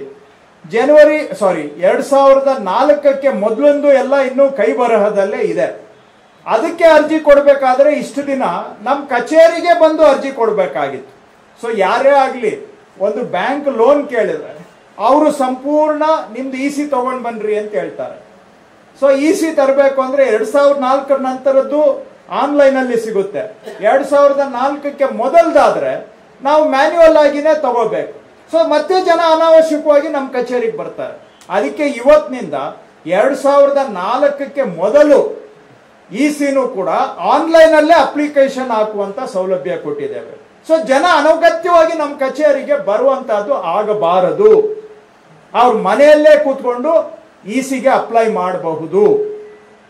ನಾವು ಅವರಿಗೆ ಇ ಸಿಯನ್ನ ರೆಡಿ ಮಾಡಿ, ಮ್ಯಾನ್ಯುವಲ್ ಇ ಸಿಯನ್ನ ರೆಡಿ ಮಾಡಿ ನಮ್ಮ ಅಧಿಕಾರಿ ಡಿಜಿಟಲ್ ಸೈನ್ ಹಾಕಿ ಮತ್ತೆ ನಾವು ಅವ್ರಿಗೆ ಆನ್ಲೈನ್ ಅಲ್ಲೇ ಕಳಿಸ್ಕೊಡ್ತೇವೆ. ಸೊ ಈವನ್ ಇ ಸಿ ತಗೊಳ್ಳೋದಕ್ಕೂ ನಮ್ಮ ಕಚೇರಿಗೆ ಬರೋದು ಬೇಕಾಗಿಲ್ಲ. ಅಪ್ಲೈ ಮಾಡೋದಕ್ಕೂ ಬೇಕಾಗಿಲ್ಲ. ಕ- ತಗೊಳ್ಳೋಕ್ಕೂ ರಿಸೀವ್ ಮಾಡ್ಕೊಳ್ಳೋಕ್ಕೂ ನಮಗೆ ಬೇಕಾಗಿಲ್ಲ. ಅವ್ರಿಗೆ ಆನ್ಲೈನ್ ಅಲ್ಲೇ ನಾವು ಇ ಸಿಯನ್ನು ಅನ್ನ ತಯಾರು ಮಾಡಿ ಕಳಿಸ್ತೇವೆ. ಇನ್ನು ಟೂ ತೌಸಂಡ್ ಫೋರ್ ನಂತರ ಆದರೆ ಅದು ಕೂಡ ಆನ್ಲೈನ್ ಅಲ್ಲಿ ನಾವು ಅವರಿಗೆ ಡಿಜಿಟಲಿ ಸೈನ್ಡ್ ಇ ಸಿಯನ್ನು ಅನ್ನ ಅವರಿಗೆ ಕೊಡಿಸ್ಕೊಡುವಂತಹದ್ದು ಇದೇ ತರ ಸಿ ಸಿಗೂ ಅಷ್ಟೇ. ಅದನ್ನು ಕೂಡ ಸಂಪೂರ್ಣವಾಗಿ ಆನ್ಲೈನ್ ಮುಖಾಂತರ ಕೊಡುವಂತಹದನ್ನ ನಾವು ಮಾಡಿದ್ದೇವೆ. ಜೊತೆಗೆ ನಮ್ಮ ಐ ಜಿ ಆರ್ ಅವರು ಹೇಳಿದರು ನಮ್ಮದು ನೀವು ಏನಾದರೂ ಒಂದು ರಿಜಿಸ್ಟ್ರೇಷನ್ಗೆ ಸಬ್ಮಿಟ್ ಮಾಡಿದಾಗ ಅದನ್ನು ನಮ್ಮ ಅಧಿಕಾರಿಗಳು ಸ್ಕ್ರೂಟ್ನಿ ಮಾಡ್ತಾರೆ. ಚಾರ್ಜ್ ಮಾಡಿರುವಂಥ ಡ್ಯೂಟಿ ಸರಿ ಇದೆಯಾ ಇಲ್ಲವಾ ಅಂತ ನೋಡ್ತಾರೆ. ಒಮ್ಮೊಮ್ಮೆ ಏನಾಗುತ್ತೆ, ಅಧಿಕಾರಿಗಳಿಗೆ ಗೊತ್ತಿಲ್ಲದೆ ಕಣ್ಣು ತಪ್ಪಿ ಜಾಸ್ತಿ ವ್ಯಾಲ್ಯುವೇಷನ್ ಆಗುತ್ತೆ, ಕಡಿಮೆ ವ್ಯಾಲ್ಯುವೇಷನ್ ಆಗುತ್ತೆ. ಇವೆಲ್ಲ ಇದು ನಾಳೆ ದಿನ ನಮ್ಮ ಯಾರು ಪಾರ್ಟಿಗಳಿದ್ದಾರೆ ಅವ್ರಿಗೆ ತೊಂದರೆ. ಯಾಕಂದ್ರೆ ಸಿ ಎ ಜಿನವರು ಬಂದು ಆಡಿಟ್ ಮಾಡ್ತಾರೆ. ಸಿ ಎ ಜಿನವರು ಆಡಿಟ್ ಮಾಡಿದಾಗ ಇದಕ್ಕೆ ಕಮ್ಮಿ ಟ್ಯಾಕ್ಸ್ ಬಿದ್ದಿದೆ, ಇದಕ್ಕೆ ಟ್ಯಾಕ್ಸ್ ಜಾಸ್ತಿ ಟ್ಯಾಕ್ಸ್ ಬಿದ್ದಿದೆ ಅಂದ್ರೆ ನಮ್ಮ ಅಧಿಕಾರಿಗಳಿಗೂ ತೊಂದರೆ ನಮ್ಮ ಕ್ಲೈಂಟ್ಸ್ಗೂ ತೊಂದರೆ. So C A G audit ಆದ್ಮೇಲೆ ನಾವು ಅವ್ರ ಮೇಲೆ under duty under payment of stamp duty ಅಂತೇಳಿ ನಾವು ಅವ್ರಿಗೆ ನೋಟಿಸ್ ಕೊಡ್ತೇವೆ. ಅವ್ರಿಗೆ ಇ ಸಿಗೆ ಎಂಟರ್ ಮಾಡ್ತೇವೆ. ಇವ್ರದ್ದು ಸ್ಟ್ಯಾಂಪ್ ಡ್ಯೂಟಿ ಅಂಡರ್ ಪೇಮೆಂಟ್ ಆಗಿದೆ ಅಂತೇಳಿ ಅಂತ. ಆಮೇಲೆ ನಮ್ಮ ಡಿ ಆರ್ ಅವರು ಅದನ್ನೊಂದು ಕೇಸ್ ತಗೊಂಡು, ಕೇಸು ಅವರೊಂದು ಆರ್ಡರ್ ಪಾಸ್ ಮಾಡಿ ಅವ್ರ ಪ್ರಾಪರ್ಟಿ ಅಟ್ಯಾಚ್ ಮಾಡೋ ಲೆವೆಲ್ಗೂ ಬೇಕಾದ್ರೆ ಹೋಗುತ್ತೆ. ಸೊ ಎಲ್ಲ ಒಂಥರ ಅನಗತ್ಯವಾಗಿ ಅವರು ಸಹ ಸಮಸ್ಯೆ ಸುಳಿಗೆ ಸಿಕ್ಕಾಕೋತಾರೆ ಯಾಕೆ ಅಂದ್ರೆ ಕಣ್ತಪ್ಪಿ ಒಮ್ಮೊಮ್ಮೆ ವ್ಯಾಲ್ಯೂಯೇಷನ್ ಸರಿಯಾಗಿ ಆಗಿರೋದಿಲ್ಲ. ಏನೋ ಒಂದು ಪಾಯಿಂಟ್ ನಮ್ಮ ಸಬ್ ರಿಜಿಸ್ಟ್ರಾರು ಡಾಕ್ಯುಮೆಂಟೇಶನ್ ವೆರಿಫೈ ಮಾಡುವಾಗ ಯಾವುದೋ ಒಂದೆರಡು ಪಾಯಿಂಟ್ ಮಿಸ್ ಆಗೋಯ್ತು ಅಂತ ಹೇಳಿದ್ರೆ ಅದರಿಂದ ನಾನಾ ಸಮಸ್ಯೆಗಳು ಉದ್ಭವ ಆಗಿ ಪ್ರತಿ ವರ್ಷ ಸಿ ಎ ಜಿನವರು ಇದನ್ನ ಆಡಿಟ್ ಆಬ್ಜೆಕ್ಷನ್ಸ್ ಅನ್ನ ರೈಸ್ ಮಾಡ್ತಾ ಇದ್ದಾರೆ. ಅಂಡರ್ ವ್ಯಾಲ್ಯೂಯೇಷನ್ ಆಫ್ ಡ್ಯೂಟಿ ಆಗಿದೆ ಅಂತೇಳಿ. ಅದಾದ್ಮೇಲೆ ಅಧಿಕಾರಿಗೂ ನೋಟಿಸ್ ಕೊಡಬೇಕು. ಅಧಿಕಾರಿ ಮೇಲೆ ಶಿಸ್ತು ಕ್ರಮ ತಗೋಬೇಕು. ಅವ್ರಿಗೆ ಡಿಸಿಪ್ಲಿನರಿ ಆಕ್ಷನ್ ಆಗುತ್ತೆ. ಕೆಲವ್ರಿಗೆ ಸೇವೆಯಿಂದ ವಜೆ ಆದವರು ಇದ್ದಾರೆ ಇಂಥ ಪ್ರಕರಣಗಳಲ್ಲಿ. ಸೊ ಈ ಎಲ್ಲ ಯಾಕಂದ್ರೆ ಆವಾಗ ಅವ್ರು ಹೇಳ್ತಾರೆ, ನನಗೆ ಗೊತ್ತಿಲ್ಲದೆ ಆಗಿದೆ ಅಂತ. ಬಟ್ ನೆಗ್ಲಿಜೆನ್ಸ್ ಇಸ್ ಆಲ್ಸೋ ಏನು, ಅದನ್ನು ಕೂಡ ದುರ್ನಡತೆ ಅಂತಾನೆ ನಾವು ಪರಿಗಣಿಸ್ಬೇಕಾಗತ್ತೆ. ಸೊ ಹಿಂಗಾಗ್ಬಿಟ್ಟು ಜನಗಳಿಗೂ ತೊಂದರೆ ಆಗ್ತಾ ಇದೆ, ಅಧಿಕಾರಿಗಳಿಗೂ ತೊಂದರೆ ಆಗ್ತಾ ಇದೆ. ಸೊ ಇದನ್ನ ಸ್ವಲ್ಪ ಪೂರ್ಣ ಸಂಪೂರ್ಣ ಅಲ್ಲದೆ ಇದ್ರು ಒಂದು ಸ್ವಲ್ಪ ನಿವಾರಣೆ ಮಾಡಬೇಕು ಅನ್ನೋ ದೃಷ್ಟಿಯಿಂದ ಒಂದ್ಸತಿ ರಿಜಿಸ್ಟರ್ ಆದ್ಮೇಲೆ ಅದನ್ನ ಪ್ರಶ್ನೆ ಮಾಡೋದಕ್ಕೆ ಅವಕಾಶ ಕಡಿಮೆ ಆಗಬೇಕು, ಪ್ರಶ್ನೆ ಮಾಡೋಕೆ ಅವಕಾಶ ಇರಬಾರ್ದು ಅಂತೇಳಿ ನಿಮಗೆ ರಿಜಿಸ್ಟ್ರೇಷನ್ಗೆ ಅಪ್ರೂವಲ್ ಕೊಡಕ್ ಮೊದಲು ಒಬ್ಬ ಸಬ್ ರಿಜಿಸ್ಟ್ರಾರು ಅದನ್ನ ಸ್ಕ್ರೂಟ್ನಿ ಮಾಡೋದ್ರ ಜೊತೆಗೆ ಪ್ಯಾರಲಲ್ ಆಗಿ ಇನ್ನೊಬ್ಬರ ಕಡೆಯಿಂದ ಸ್ಕ್ರೂಟ್ನಿ ಮಾಡಿಸುವಂತಹದ್ದು. ಯಾಕೆಂದ್ರೆ ನಾನು ದಿನ ನೋಡಿ ನೋಡಿ ನೋಡಿ ನನಗೆ, ಆ, ಎಲ್ಲ ಸರಿ ಇದೆ, ಎಲ್ಲ ಸರಿ ಇದೆ ಅಂತ ನಾನು ಅಪ್ರೂವ್ ಮಾಡ್ತೇನೆ. ಆದ್ರೆ ನನಗೆ ಯಾಕಂದ್ರೆ ನೋಡಿ ನೋಡಿ ನನ್ಗಿದಾಗಿರುತ್ತೆ ಇನ್ನೊಬ್ರು ನೋಡಿದಾಗ ನನಗೆ ಕಾಣದೇ ಇರೋದು ಅವ್ರ ಕಣ್ಣಿಗೆ ಕಾಣುತ್ತೆ. ಸೊ ಹಾಗಾಗಿ ಒಂದು ಪ್ಯಾರಲಲ್ ಸ್ಕ್ರೂಟಿನಿ ನ ಮಾಡ್ತಕ್ಕಂಥದ್ದು, ಅದು ಕೆಲವು ಇಂಪಾರ್ಟೆಂಟ್ ಡಾಕ್ಯುಮೆಂಟ್ಸ್ ಅನ್ನ ಪ್ಯಾರಲಲ್ ಸ್ಕ್ರೂಟನಿ ಮಾಡ್ತಕ್ಕಂಥ ಒಂದು ಸೌಲಭ್ಯವನ್ನು ಕೂಡ ನಾವಿವತ್ತು ಚಾಲನೆ ಮಾಡಿದ್ದೇವೆ. ಮತ್ತೆ ಲಾಸ್ಟ್ಗೆ ಸ್ಟ್ಯಾಂಪ್ ಡ್ಯೂಟಿ ಕಟ್ಟೋವಾಗ ಏನಾಗುತ್ತೆ? ಒಂದೊಂದು ಬಾರಿ ಅಗೇನ್ ಸೇಮ್ ಮಿಸ್ಟೇಕು ಜನ ಗೊತ್ತಿದ್ದೋ ಗೊತ್ತಿಲ್ಲದೇನೋ ಅವರು ಎಷ್ಟು ಸ್ಟ್ಯಾಂಪ್ ಡ್ಯೂಟಿ ಕಟ್ಟಬೇಕು ಅಂತ ಗೊತ್ತಾಗದೆ ಹೈಯರ್ ಸ್ಟ್ಯಾಂಪ್ ಡ್ಯೂಟಿನ ಲೋವರ್ ಸ್ಟ್ಯಾಂಪ್ ಡ್ಯೂಟಿ ಕಟ್ಟಿರ್ತಾರೆ. ಅದಕ್ಕೆ ಜಾಸ್ತಿ ಯೂಸ್ ಆಗುವಂತ ಸ್ಟ್ಯಾಂಪ್ ಡ್ಯೂಟಿ ಇನ್ಸ್ಟ್ರೂಮೆಂಟ್ಸ್ ಯಾವ್ಯಾವ ಇದಾವೆ, ಅದಕ್ಕೆ ನಾವೇ ಯಾವ ಸ್ಟ್ಯಾಂಪ್ ಎಷ್ಟು ಸ್ಟ್ಯಾಂಪ್ ಡ್ಯೂಟಿ ತಗಲುತ್ತೆ ಅಂತ ಒಂದು ಆಟೋ ಕ್ಯಾಲ್ಕುಲೇಟರ್ ಅನ್ನು ಕೂಡ ಕಾವೇರಿಯಲ್ಲಿ ಕೊಟ್ಟು ಕೊಡಿಸ್ಕೊಟ್ಟಿದ್ದೇವೆ. ಸೊ ಅದರಿಂದ ಜನಕ್ಕೂ ಸರಳೀಕರಣ ಆಗುತ್ತೆ. ಒಟ್ಟಾರೆ ಜನಪರವಾಗಿ ಸುಧಾರಣೆ ಆಗಬೇಕು, ಸರಳೀಕರಣ ಆಗಬೇಕು. ನ್ಯಾಯಯುತವಾಗಿ ಕೆಲಸ ಮಾಡ್ತಕ್ಕಂಥ ಸಾರ್ವಜನಿಕರಿಗೆ ತೊಂದರೆ ಆಗಬಾರ್ದು. ಅದೇ ಸಮಯದಲ್ಲಿ ಸರ್ಕಾರಕ್ಕೆ ಉದ್ದೇಶಪೂರ್ವಕವಾಗಿ ಏನು ಬೊಕ್ಕಸಕ್ಕೆ ನಷ್ಟ ಮಾಡ್ತಕ್ಕಂಥದಕ್ಕೂ ಅವಕಾಶ ಇರಬಾರ್ದು. ಅದನ್ನು ತಡೆಗಟ್ಟಬೇಕು. ಕಣ್ಣು ತಪ್ಪಿನಿಂದ, ಅಧಿಕಾರಿಗಳಿಂದ ತಪ್ಪಾಗಿ ನಾಳೆ ಅಧಿಕಾರಿಗಳಿಗೂ ತೊಂದರೆ ಆಗುವಂತಹದನ್ನ ತಪ್ಪಿಸ್ಬೇಕು. ಅದಕ್ಕೂ ಅವಕಾಶ ಇಲ್ದಂಗೆ ಮಾಡಬೇಕು. ಒಟ್ಟಾರೆ ಆಡಳಿತ ಸರಳ ಆಗಬೇಕು, ಜನಪರವಾಗಿರ್ಬೇಕು. ಸಮಸ್ಯೆ ಬಂದ ಮೇಲೆ ಅವ್ರ ಮೇಲೆ ಅದ್ ಮಾಡಿ, ಇದು ಮಾಡಿ ಅನ್ನೋದಲ್ಲ.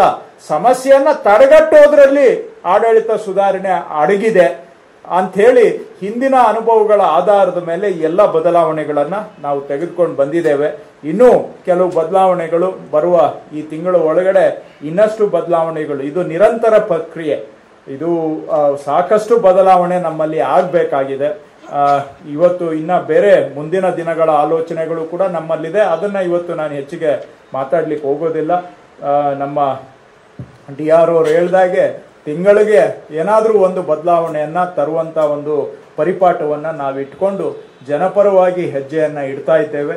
ಇನ್ನೂ ಯಾವುದೇ ಸಲಹೆಗಳು ಬಂದರೂ ಕೂಡ ಅದನ್ನ ಸಕಾರಾತ್ಮಕವಾಗಿ ಸ್ವೀಕರಿಸಿ ನಮ್ಮ ಇಡೀ ಇಲಾಖೆ ಜನಗಳಿಗೆ ಅನುಕೂಲ ಆಗೋ ರೀತಿಯಲ್ಲಿ ಕೆಲಸ ಮಾಡೋದಕ್ಕೆ ನಾವು ಬದ್ಧ ಇದ್ದೇವೆ. ನಮ್ಮ ಮುಖ್ಯಮಂತ್ರಿಗಳು ಕೂಡ ನಮಗೆ ಬಹಳ ಕಟ್ಟುನಿಟ್ಟಾದ ಸೂಚನೆಯನ್ನು ಕೊಟ್ಟಿದ್ದಾರೆ. ಜನಪರ ಬದಲಾವಣೆ ಕಂದಾಯ ಇಲಾಖೆಯಲ್ಲಿ ಆಗಲೇಬೇಕು. ಅದರಲ್ಲೂ ಕೂಡ ನೋಂದಣಿ ಇಲಾಖೆಯಲ್ಲೂ ಸಹ ಜನಪರ ಬದಲಾವಣೆ ಆಗಬೇಕು ಅನ್ನೋದು ಮುಖ್ಯಮಂತ್ರಿಗಳ ಕಟ್ಟುನಿಟ್ಟಿನ ಸೂಚನೆ ಆಗಿದೆ. ಡಿ ಆರ್ ಅವ್ರು ಹೇಳ್ದಾಗೆ ಬರೀ ಯಶಸ್ವಿ ಇದ್ರೆ ಸಾಲದು. ನಾವು ಜನಪರವಾಗಿನೂ ಕೂಡ ಇರಬೇಕು. ಸುಧಾರಣಾತ್ಮಕವಾಗಿನೂ ಕೂಡ ಇರಬೇಕು. ಬರೀ ನಾವು ರೆವಿನ್ಯೂ ರೈಸ್ ಮಾಡಿದ್ದೀವಿ ಅನ್ನೋದು ಅಷ್ಟೇ ಅಲ್ಲ. ರೆವಿನ್ಯೂ ರೈಸ್ ಮಾಡಿದರೆ ಸಕ್ಸಸ್ಫುಲ್ ಅಂತ ಹೇಳ್ಬೋದು. ಆದರೆ ಆಡಳಿತದಲ್ಲಿ ಇರೋರ್ದು ನಮ್ಮದು ಬರೀ ರೆವಿನ್ಯೂ ರೈಸ್ ಮಾಡೋದು ಒಂದೇ ಮಾನದಂಡ ಅಲ್ಲ. ಇಲಾಖೆ ಎಷ್ಟು ಜನಪರವಾಗಿ ಕೆಲಸ ಮಾಡ್ತಾ ಇದೆ. ನಾವಿರೋದು ಜನಗಳಿಗೆ ಸರ್ವ್ ಮಾಡೋಕ್ಕೆ ಜನಗಳ ಜುಟ್ಟನ್ನು ಇಟ್ಕೊಂಡು ಕೂತ್ಕೊಳ್ಳೋದಕ್ಕೆ ಅಲ್ಲ. ಸೊ ಹಾಗಾಗಿ ಜನಪರವಾಗಿ ನಮ್ಮ ಯಶಸ್ಸು ಬರೀ ಕಂದಾಯದ ಮೇಲೆ ನಿಂತಿಲ್ಲ. ನಮ್ಮ ಯಶಸ್ಸು ಜನಪರ ಮನ್ನಣೆಯ ಮೇಲೇನೂ ಕೂಡ ನಿಂತಿದೆ. ಸೊ ನಮಗೆ ಎರಡೂ ಕೂಡ ದಾರಿ ದೀಪ ದೀಪ ದೀಪ ಇದ್ದಾಗೆ ಎರಡೂ ಕೂಡ ನಮ್ಮ ದಿಕ್ಸೂಚಿ. ನಮ್ಮ ಆಡಳಿತ ಜನಪರವಾಗಿ ಇರಬೇಕು ಸರಿಯಾಗಿ ಅವರಿಗೆ ನ್ಯಾಯದ ರಕ್ಷಣೆ ಸಿಗಬೇಕು, ತಪ್ಪು ಮಾಡಿದಂಥವರಿಗೆ ನ್ಯಾಯದ ಶಿಕ್ಷೆನೂ ಆಗಬೇಕು. ಸೊ ಈ ಗುರಿಯನ್ನ ಇಟ್ಕೊಂಡು ನಾವು ಹೆಜ್ಜೆಗಳನ್ನ ಇಡ್ತಾ ಇದ್ದೇವೆ. ನಿಮ್ಮ ಸಹಕಾರ ಇರಲಿ, ನಾವು ಇನ್ನಷ್ಟು ಪ್ರಯತ್ನವನ್ನ ಮಾಡ್ತೇವೆ ಅಂತೇಳಿ ಇದಕ್ಕೆ ನಮ್ಮ ಇ ಗವರ್ನೆನ್ಸ್ ಅವರು ನಮಗೆ ಸಾಕಷ್ಟು ಸಹಕಾರ ಕೊಟ್ಟಿದ್ದಾರೆ. ಹಾಗೂ ರಿಜಿಸ್ಟ್ರೇಷನ್ಸ್ ಡಿಪಾರ್ಟ್ಮೆಂಟ್ನವರು ಕೂಡ ಬಹಳ ಪ್ರೊಆಕ್ಟಿವ್ ಆಗಿ ಏನೇನು ಬದಲಾವಣೆ ತರಬಹುದು ಅಂತ ಕೆಲವು ಸೂಚ, ಸಲಹೆಗಳನ್ನು ನಮ್ಮ ಮುಂದೆ ಇಟ್ಟು ಅವುಗಳನ್ನು ಇವತ್ತು ಇ ಗವರ್ನೆನ್ಸ್ ಅವರು ಮತ್ತೆ ನಮ್ಮ ರಿಜಿಸ್ಟ್ರೇಷನ್ ಡಿಪಾರ್ಟ್ಮೆಂಟು ಪ್ರಿನ್ಸಿಪಲ್ ಸೆಕ್ರೆಟರಿ ಅವರು ಎಲ್ಲರ ಒಂದು ಟೀಮ್ ವರ್ಕಿಂದ ಇವತ್ತು ಬದಲಾವಣೆಗಳನ್ನು ತರ್ತಾ ಇದ್ದೇವೆ. ಅವರಿಗೆ ಜನಗಳ ಪರವಾಗಿ ನಾನು ಅವರೆಲ್ಲರಿಗೂ ನನ್ನ ಧನ್ಯವಾದಗಳನ್ನು ತಿಳಿಸಿ ಇನ್ನಷ್ಟು ಬದಲಾವಣೆಗೆ ನಿಮ್ಮೆಲ್ಲರ ಸಹಕಾರ ನಮ್ಮ ಜೊತೆಗೆ ಇರಲಿ ಅಂತ ಆಶಿಸ್ತೇನೆ. ಧನ್ಯವಾದ.